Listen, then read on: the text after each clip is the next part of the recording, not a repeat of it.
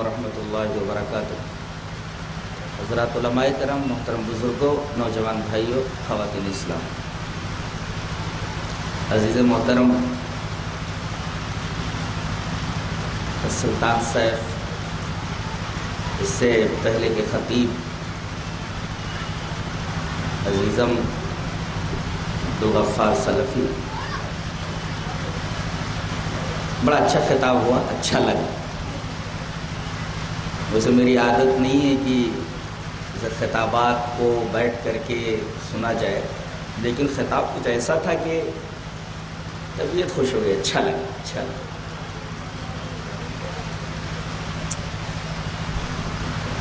सदारती खुतबा का जहाँ तक मामला है, ये कोई तकरीर नहीं होती है, और मेरी समझ में भी नहीं आ रहा है कि सदारती खुतबे के तौर पर मैं कौन सी बात आपके सामने पेश करूँ?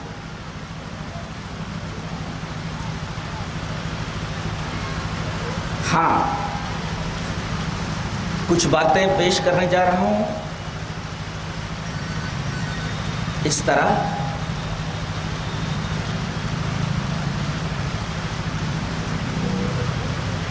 उसको तमहीदन यूँ समझें। एक आदमी है, उसे पूछिए कि पाँच बड़ा होता है या दस बड़ा होता है? इसमें जितने बैठे हुए हैं, कोई ये कहेगा कि पाँच बड़ा होता है? दस से? कोई भी आदमी इस बात का कायल नहीं है। बहुत गौर से सुनिए। जितने भी आदमी यहाँ मौजूद हैं इसी आदमी से ये पूछा जाए कि भाई, पाँच बड़ा होता है या दस बड़ा होता है? हर आदमी यही कहेगा कि दस बड़ा होता है, पाँच छोटा होता है। अब एक आदमी आता है, आप कौन? हुआ रही कहते मैं वो हूँ जो पत्थर को सोना बना देता हूँ। बहुत अच्छी बात। आप वो हैं जो पत्थर को सोना बना देते और क्या है आप? बोले, मैं शीशे से पत्थर को तोड़ देता हूँ। और कौन है आप? वो बोलता है, मैं लाठी को, ये जो आपके सामने लाउड स्पीकर है, मैं इसको सांप बना देता हूँ।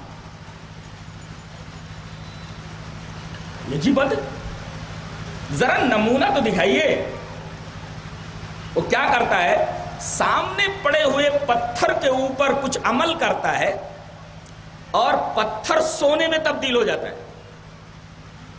लाउड स्पीकर ऊपर हाथ रखता है लाउड स्पीकर सांप बन जाता है। ये बहुत बड़ा आदमी है। लेकिन अब जो ये सब कुछ देख रहा है, उससे पूछिए कि वो ये एक बात कहने जा रहा है, ये तमाम चीज़ें कह करके। क्या कहने जा रहा है कि पाँच बड़ा होता है, दस छोटा होता है?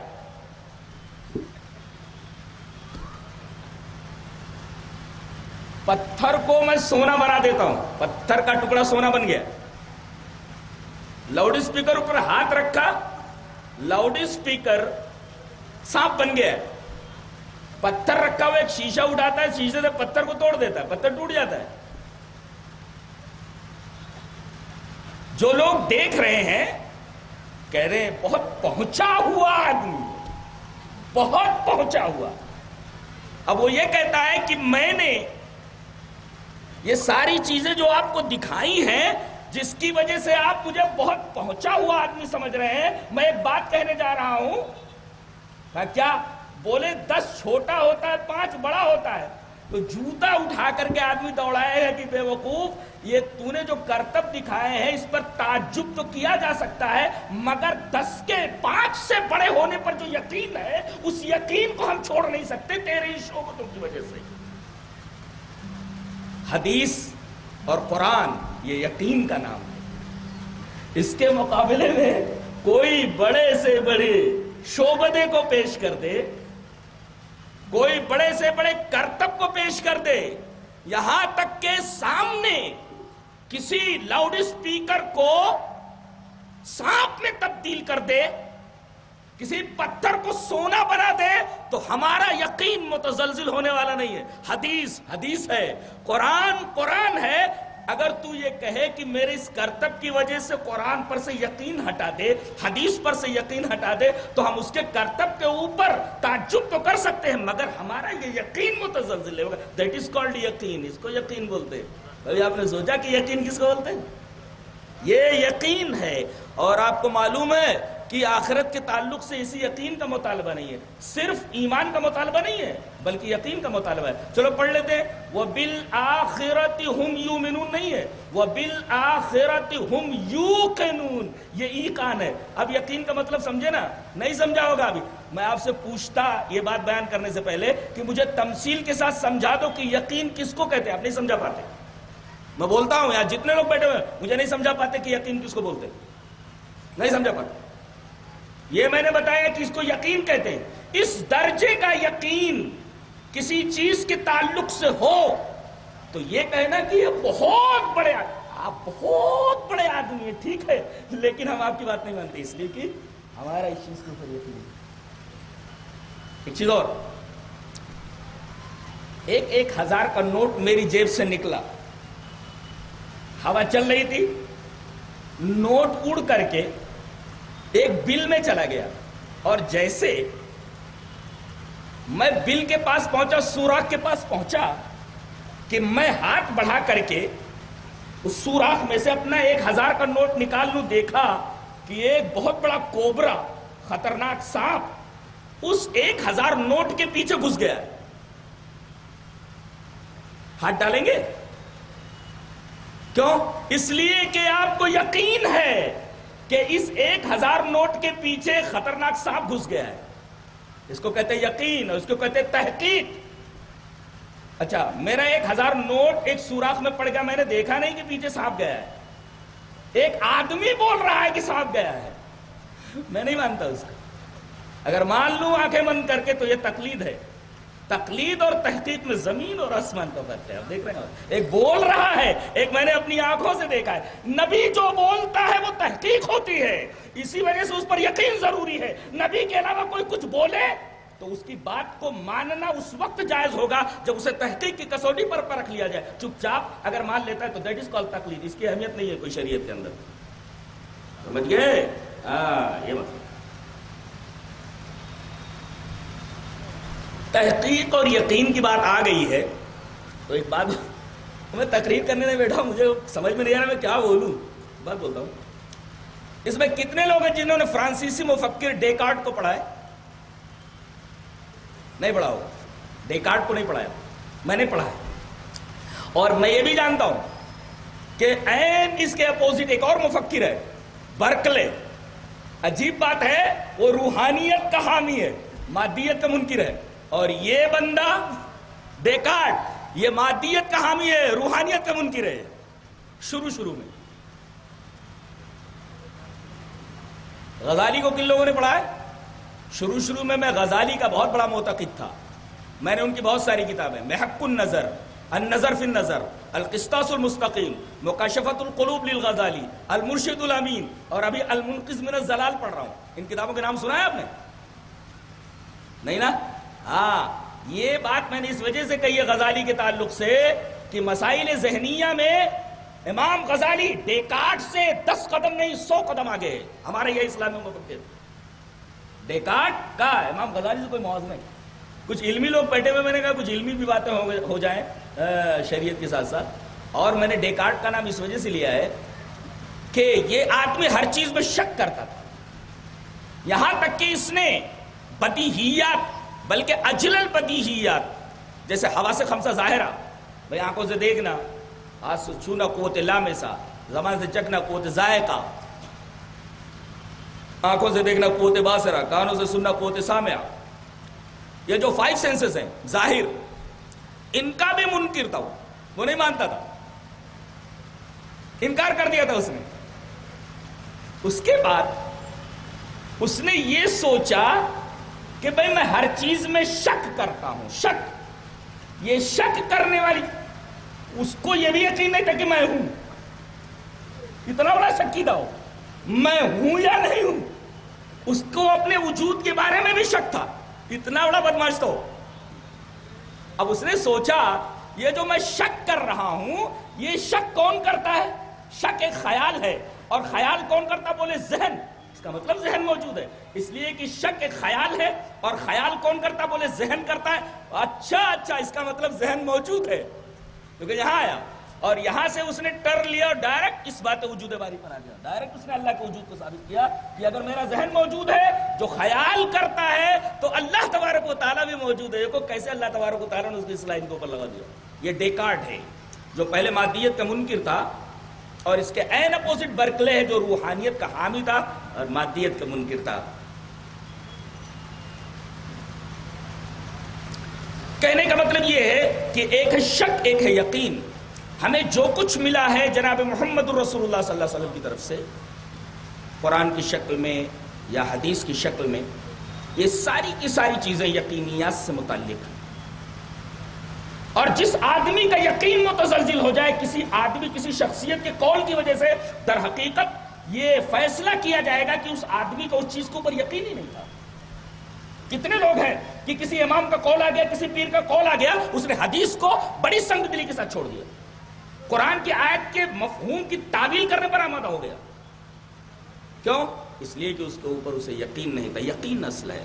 बार बार कुरान हकीम ये लफ्ज इस्तेमाल करता है, यकीन। और आज मैंने समझा दिया है कि यकीन किसको कहते हैं? अगर किसी चीज़ के ऊपर यकीन हो जाए तो आप बड़ी से बड़ी चीज़ें देख करके, बड़े से बड़े करतब और शोबतें देख करके भी आप सामने वाले की बात नहीं मानेंगे।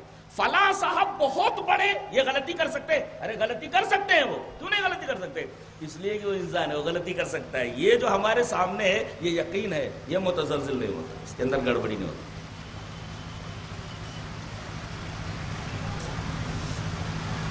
इंद्रियाँ जो इंसान जो होते बाज लोगों ने तो मैंने डेकार्ट का हवाला इस वजह से दिया कि इसने फाइव सेंसेस का भी इनकार कर दिया। अब मोहतरम ने वो वेद वगैरह पढ़ ही दिया था तो चूँकि मैं संस्कृत का तालिब इल्म हूँ, एक बहुत अच्छा श्लोक पढ़ता हूँ, इस्तिदलाल के लिए, और एक अच्छा इस्तिदलाल करना चाहता हूँ उस श्लोक से। पढ़ देता हूँ। यदा संहरते चायम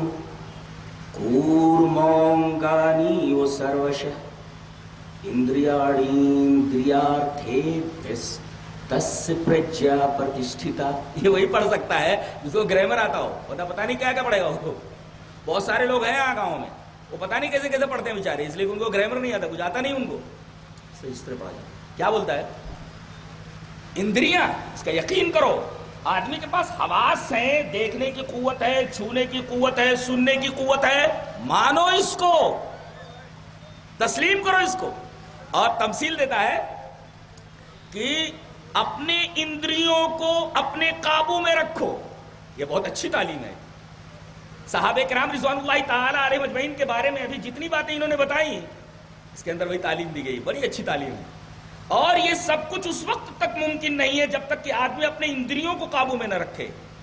मैं इंद्रियों को काबू में रखने की एक मिसाल देता हूँ। ये हाथ, ये महसूस करता है किसी शय को। कुत लामेसा है इसके अंदर। अगर ये किसी औरत के ऊपर लगा दो, जो आपकी नहीं है। ज़ाहिर है कि इस इंद्रिया, ये इंद्रिया आपको मुसीबत में डाल देगी, आप जूता खाएँगे। ज़ाहिर है।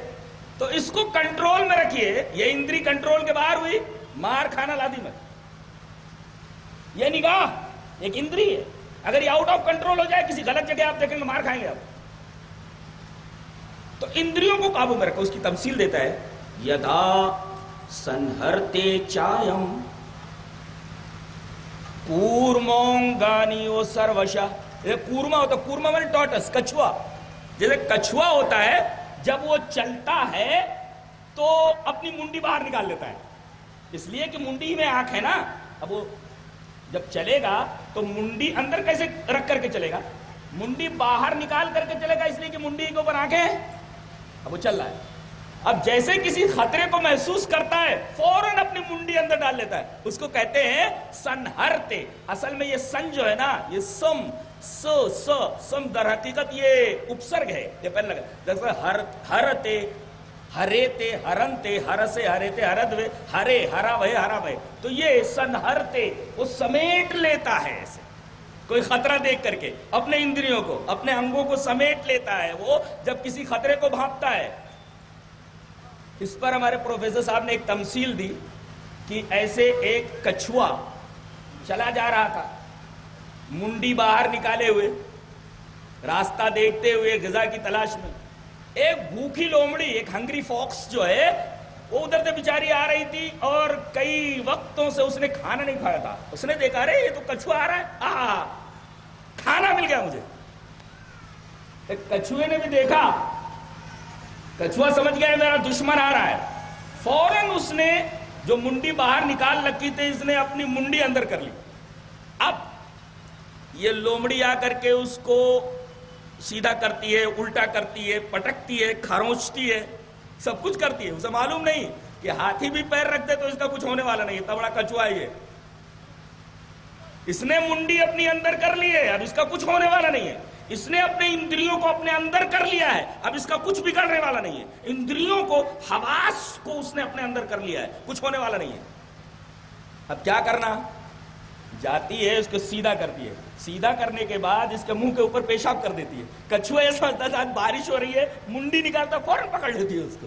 जैसे जब तक इंद्री अंदर थी, तब तक वो महफूज था। और जैसे ही उसके हवास बाहर हुए, फ़ौरन वो डेंजर के दायरे में आ गया, खतरे के दायरे में आ गया, उसको पकड़ लिया गया।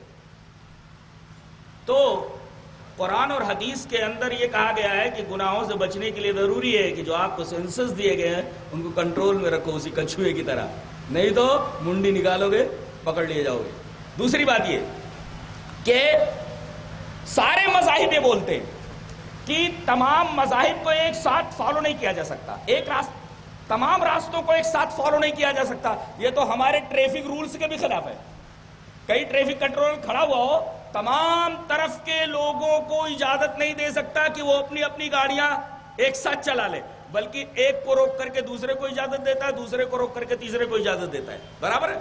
और यहाँ आलम यह है कि चारों को इजाज़त दे दी गई है कि भाई चारों जिस तरीके से चाहो, किसी तरफ़ भी कुछ जाओ। ज़ाहिर है कि खतरा रखा है वहाँ। प्रॉब्लम रखा है। इजाज़त नहीं दे सकता कोई भी ट्रैफ़िक कंट्रोलर जी। और गीता भी ये कहती है कि तमाम रास्तों को छोड़कर सिर्फ़ एक रास्ता पकड़ना है। कहते तमाम धर्मों को मानो। अरे, गीता के अंदर खुद यह मौजूद है कि तमाम धर्मों को नहीं माना जा सकता, सिर्फ़ एक धर्म को मानो। क्या है? चलो पढ़ लेते हैं उसको। बोलता है, सर्वधर्मान परित्यज्य मामेकम शरणम व्रज। अहम तो सर्व पापेभ्यो मोक्षयिष्यामि तो बोलता है कि तमाम धर्मों को छोड़कर, धर्म, धर्मो, धर्मा धर्मम धर्मो, धर्मान, धर्मेण धर्माभ्याम धर्माय धर्माय धर्माभ्याम धर्माभ्य, धर्मा धर्माभ्याम धर्म, धर्मस, धर्म धर्मानाम धर्म धर्म धर्मेशु अच्छा तो सर्व धर्मान तमाम धर्मों को परित्यज्य, त्याग करके, छोड़ करके मामेकम शरणम व्रज। सिर्फ़ एक रास्ते को पकड़ना है जो मेरा रास्ता है। ये एक रास्ता। गीता भी कहती है कि तमाम उस तमाम रास्तों के ऊपर चलना खतरनाक है। एक रास्ते को पकड़ो जो मेरा रास्ता है। और मेरा रास्ता जनाब मोहम्मद रसूलुल्लाह सल्लल्लाहु अलैहि वसल्लम ने बता दिया जिसकी दुआ हम और नमाज में मांगते हैं ए दिन मुस्तकीम और नबी करीम सल्लल्लाहु अलैहि वसल्लम ने उस रास्ते को क्लियर करके बताया चलिए हदीस देख लेते हैं हदीस हदीस इस तरह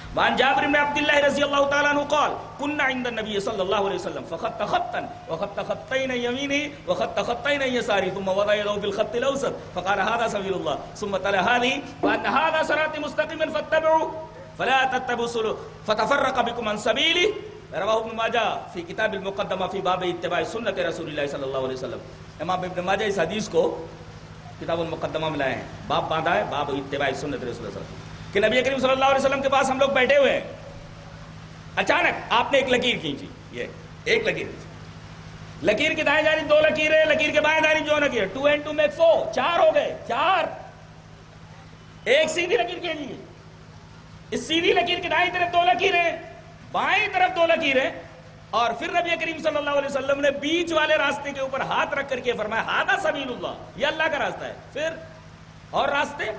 उनके बारे में आपने कुछ क्या कहा? कुछ नहीं कहा। ये अल्लाह का रास्ता है बस। और फिर उसके बाद आपने आयत से इस्तेदलाल फरमाया वान नहादा सिराती मुस्तकीमन फत्तबिउ नबी ने भी फरमाया, ये अल्लाह का रास्ता। फिर उस पर कुरान नबी का कह देना ही काफ़ी था। नबी की जबान मुबारक से जो निकले, वो हरफ आखिर। आपको इस्तिदलाल के लिए आयत पेश करने की ज़रूरत नहीं थी, लेकिन आपने आयत भी फरमाई। इसका मतलब रसूल की हदीस भी मौजूद है और कुरान की आयत भी मौजूद है कि रास्ता एक ही है। नहाना आपने उंगली रख करके प्रैक्टिकल बताया कि ये रास्ता है। उसके बाद आयत कुरानिया को उसके ऊपर मुंतबिक किया। यानी हदीस भी कहती है कुरान भी कहता है। और दुनिया की तमाम किताब कहती है। हिंदुओं की मजहबी किताब जिसके ऊपर हाथ रख करके कसम खाई जाती है अदालत के अंदर, वो कह रही है।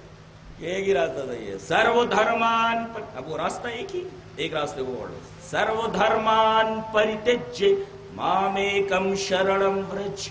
अहम तो सर्व पाप अगर ऐसा होगा तो तुमको तमाम पापों से मैं मोक्ष करके जन्नत में डाल दूँगा।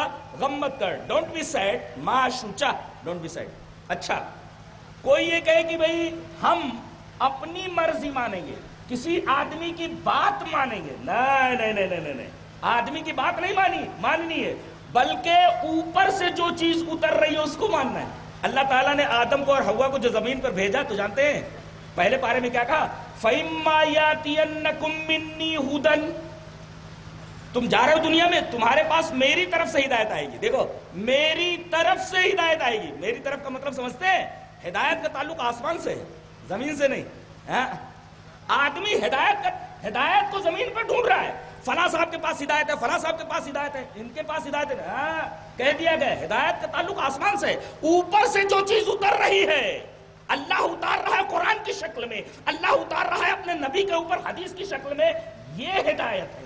फहिमा या जन इसके अलावा कोई चीज़ हिदायत उदायत नहीं है। फला साहब की बात कितने भी बड़े हो जाए मैंने बताया ना भी कितने बड़े भी करतब दिखा ले लेकिन उसे कुछ होने वाला नहीं यकीन यकीन है अगर वो को सांप में भी तब्दील कर दे तब भी दस कभी भी छोटा नहीं हो सकता पाँच से। दस दस है। पाँच पाँच है। आप यकीन को मुतजल नहीं कर सकते। और गीता में भी यही है कि शास्त्र को फॉलो करो। और एक बात और, लोग कहते हैं कि भाई झगड़ा मत करो। अरे गीता कहती है कि झगड़ा इस वजह से है कि लोग अपनी अपनी मर्ज़ी से चल रहे हैं। अपनी अपनी मर्ज़ी के रास्ते निकाल लगे शास्त्र को कोई फॉलो ही नहीं कर रहा है। अगर तमाम लोग शास्त्र को फॉलो करने लगे, शास्त्र में मीन्स जो ईश्वर ने उतारा है दैट इज़ कॉल्ड शास्त्र। अब देखो क्या बोलता है। बोले लो। यह शास्त्र विधि मुत सिरजे, वर्तते काम कारता न सिद्धिमवापनोति। सुखम, न प्राम गतिम वो बोलता है कि जो शास्त्र के विधि को, शास्त्र, विधि माने कानून, जो शास्त्र के विधि को छोड़कर वर्तते वर्तते माने हो जाता है। वर्तते, वर्तेते, वर्तनते, वर्तसे वर्ते थे वर्त वर्ते, वर्ता, वह वर्ता, वह, वर्तते हो जाता है। क्या हो जाता है? काम कारता काम माने ख्वाहिश ख्वाहिश, आसक्ति। अपनी ख्वाहिश से, अपनी चाह से, आसक्ति का गुलाम हो करके अपनी मर्ज़ी से अपनी ख्वाहिश से, ये रास्ता बना लिया, ये रास्ता बना लिया, ये रास्ता बना लिया। अब बोलते हैं जो शास्त्र के कवानीन को छोड़ करके अपनी ख्वाहिश के रास्तों को बना लेता है, उसके ऊपर चलने लगता है तो देखो, न सिद्धि मवापनोति तो उसे सिद्धि मिलने वाली नहीं, सिद्धि मिलने वाली नहीं, नजात नहीं मिलती, न सुखम, न दुनिया में जब तक ज़िंदा रहेगा उसे सुख मिलने वाला, सुख कब खत्म होता है? जब हमेशा फसाद ही। हो इसका मतलब यह है कि तमाम लोग सिर्फ़ शास्त्र को फॉलो करें, अगर अपनी अपनी मर्ज़ी के रास्ते निकाल लेंगे फसाद रखा है, फसाद रखा है। आज जितने भी फिरके हैं, नबी करीम सल्लल्लाहु अलैहि वसल्लम फरमा दिए थे इतने सारे फिरके, सारे फिरकों को खत्म कर दिया जाए, सिर्फ़ शास्त्र को, यानी कुरान और हदीस को फॉलो किया जाए, सारे झगड़े खत्म हो जाए। ये है। अल्लाह तबारक व ताला हमें नेक अमल और अच्छी समझ की तौफीक अता फरमाए। वाह